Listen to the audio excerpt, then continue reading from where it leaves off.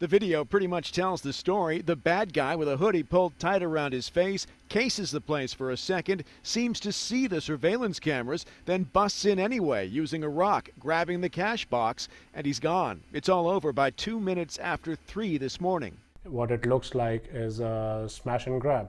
It's sad. I mean, being a small business, uh, we are trying to, you know, make a living here. The couple just opened the Charisma Salon this year. They fear the bandit got away with quite a bit of cash because it's been months since they've had a chance to take their deposits to the bank. More than the money, they say, is the violation, seeing so much of their hard work go out the door so quickly. He was very quick, very quick. When we saw the footage, he was really quick. It looked like he's a pro. He just uh, smashed it, the door with a rock and just grabbed in there and you know picked it and just walked away.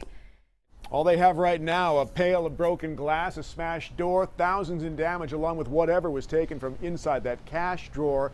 But that video, the couple's hoping putting that out there puts the suspect behind bars. And soon, in Naperville, Tom Negovan, WGN News.